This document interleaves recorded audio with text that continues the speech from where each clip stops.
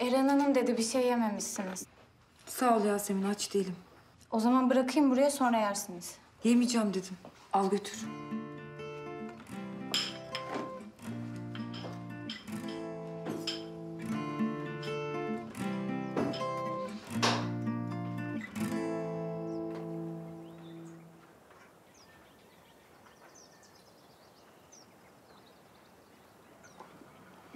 Şu Azertepe'min tasını attırıyor artık Hayriye. Hem akıl istiyor hem efelik taslıyor salak. Ya şeytan diyor. Git Seyit Bey'e anlat birer birer arkasında ne dolaplar çevirdiğini. Aman Canip otur oturduğun yerde. Herkes barut gibi zaten. Dimya'da pirince giderken evdeki bulgurdan anlayalım şimdi. Karı sen artık bir karar ver. Daha dün git şu salak Azer'in kulağını büktü diyen sen değil miydin? He? Babasının arkasından ne dolap çevirecekse çevirsin diyen sen değil miydin? Boş ver sen ne dediğimi. Aklına geleni işleme, her ağacı taşlama demişler.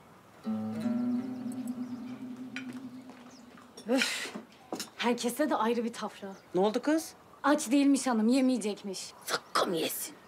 Eren Hanım da çok düşünüyorsa gelsin kendi götürsün kızının yemeğini.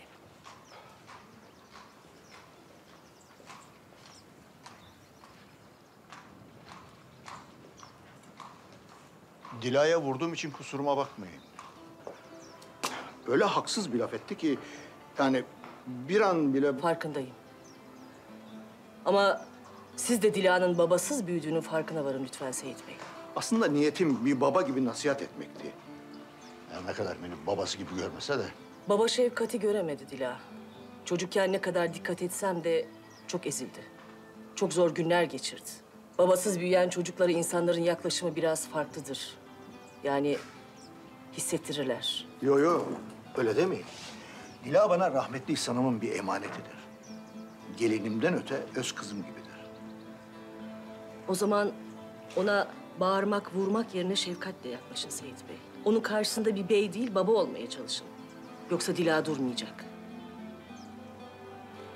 Onu intikam alma duygusundan bir tek siz vazgeçirebilirsiniz.